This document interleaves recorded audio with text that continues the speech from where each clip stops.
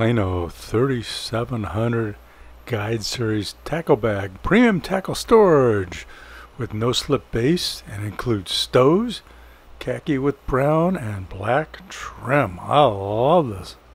The 3700 is newly designed with oversized molded zippers for durability and easy use plus two handles. Fitted out for optimal organization and stable and choppy offshore, so buy it now.